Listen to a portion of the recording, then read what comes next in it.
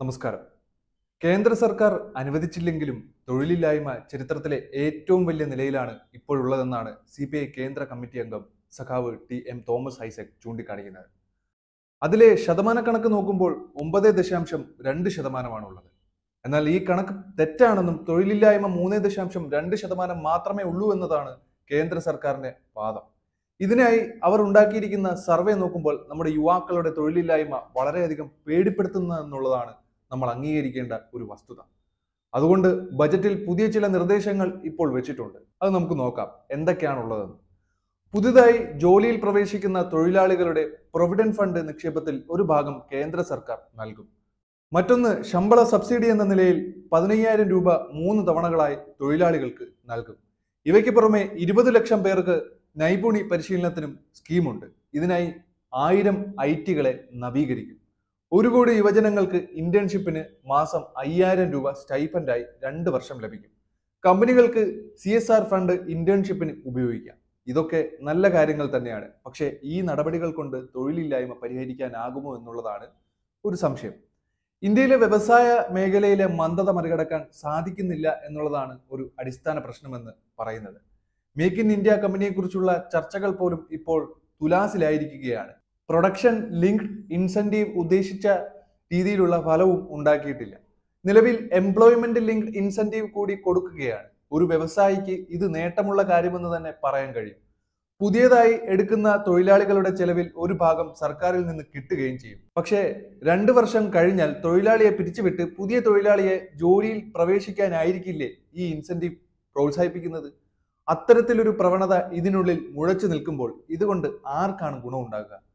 ഒരു സ്ഥിരതയില്ലായ്മയാണ് ഇവിടെ നമുക്ക് മനസ്സിലാക്കാൻ സാധിക്കുന്ന ഒരു വസ്തുത. ജോലി സ്ഥിരത എന്നത് അതിവേഗം സംഘടിത മേഖലയിൽ അപ്രത്യക്ഷമായിക്കൊണ്ടിരിക്കുന്ന ഒരു കാര്യമാണ്.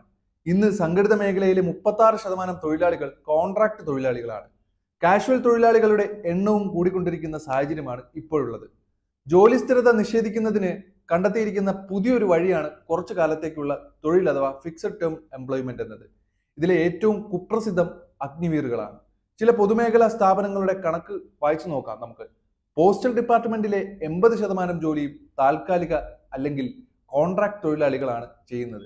രണ്ടായിരത്തി ഇരുപത്തൊന്ന് ഇരുപത്തൊന്നിൽ ഇന്ത്യൻ ഓയിൽ കോർപ്പറേഷൻ പോലുള്ള പെട്രോളിയം കമ്പനികളിലെ എഴുപത്തിരണ്ട് ശതമാനം തൊഴിലാളികളും കോൺട്രാക്ട് തൊഴിലാളികളായിരുന്നു.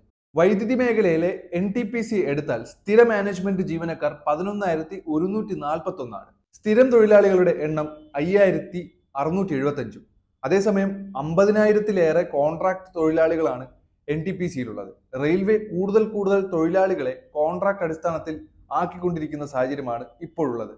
സംഘടിത മേഖലയിൽ പണിയെടുക്കുന്നവരിൽ പതിനഞ്ച് ശതമാനം വരെ പുതിയ നിയമപ്രകാരം ട്രെയിനുകളോ അപ്രന്റീസുകളോ ആകാം.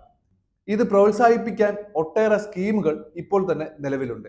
ഇതിൽ ഏറ്റവും പ്രധാനപ്പെട്ട ഒന്നായിരുന്നു രണ്ടായിരത്തി പതിമൂന്നിൽ ആവിഷ്കരിച്ച national employability enhancement scheme.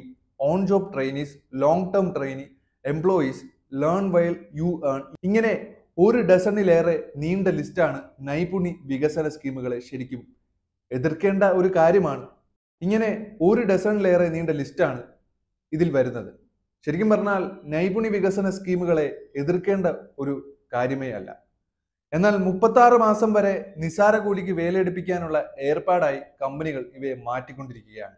ചുരുക്കത്തിൽ തൊഴിലില്ലായ്മയുടെ കാരണം നൈപുണ്യ പരിശീലനം ഇല്ലാത്തതാണ്. എളുപ്പത്തിലും അയവോടെയും തൊഴിൽ കമ്പോള പരിഷ്കാരങ്ങളിലൂടെ തൊഴിലില്ലായ്മ പരിഹരിക്കാനാകും എന്ന് തുടങ്ങിയ നിയോലിബറൽ കാഴ്ചപ്പാടിൽ നിന്നാണ് ബജറ്റ് നിർദ്ദേശങ്ങൾ ഉരുത്തിരിഞ്ഞു വന്നിട്ടുള്ളത്. യഥാർത്ഥത്തിൽ വേണ്ടത് വ്യവസായ മേഖലയിലെ നിക്ഷേപം മുരടിച്ചു നിൽക്കുന്നതിന്റെ പ്രധാന കാരണങ്ങൾ മനസ്സിലാക്കി അവയ്ക്ക് പരിഹാരം കാണലാണ്.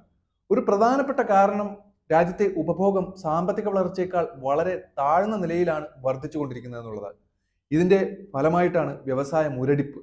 ജനങ്ങളുടെ വാങ്ങൽ കഴിവ് വർദ്ധിപ്പിക്കാനുള്ള പ്രത്യക്ഷ ഇടപെടലുകളൊന്നും ബജറ്റിൽ ഇല്ല. തികഞ്ഞ ധന യാഥാസ്ഥികത്വത്തിന്റെ സമീപനമാണ് ഈ ബജറ്റിൽ മുഴച്ചു നിൽക്കുന്നത്.